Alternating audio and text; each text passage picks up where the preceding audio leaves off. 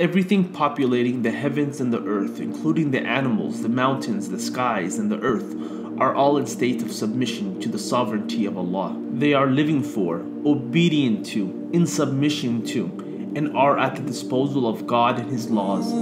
They all exist in state of Islam. Everything in nature functions according to fixed laws set forth by the Creator and cannot deviate from those laws. The sun knows its role. It knows the cycle of its rotation. It knows its role as the giver of light, heat, and energy on Earth. The Earth knows its rotation cycle around its own axis.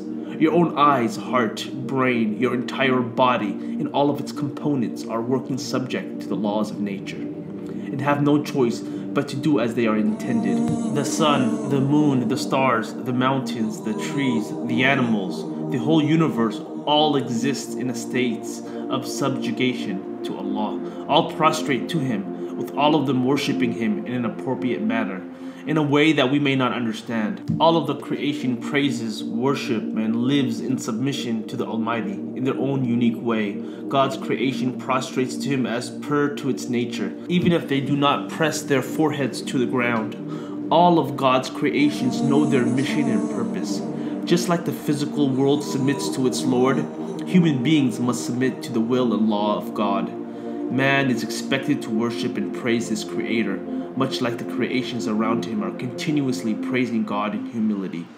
Unlike other creations of God, man was gifted with the qualities of intelligence, the ability to comprehend and understand, and the wisdom to think, reflect, and ponder over his Creator, as well as his life purpose. Man was also gifted with the ultimate beauty of expression and with the ability to make choices and decisions. All humans are born with an innate eagerness and ability to seek God, to recognize and understand the existence of the Creator. Once many discover the truth, they hasten to submit to Allah, entering into a state of total submission. Islam fundamentally answers the questions that trouble the conscience of every human being. Why was I created? What am I doing here? What is my life's purpose? Where am I headed? Islam answers all of these massive life questions. God has reinforced man's natural disposition with the signs that he has planted throughout creation to testify to his existence. Man faces a choice to submit to God like all other creations or to go astray and violate God's laws. All will be held accountable for their choices. In glorifying God, man chooses to be in harmony with the rest of the creation, an act which naturally glorifies the Creator all throughout the day and night in its own unique manner.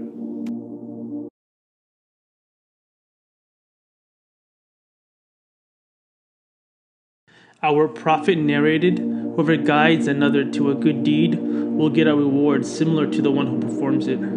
So please like, subscribe, and share this video. Salam alaikum.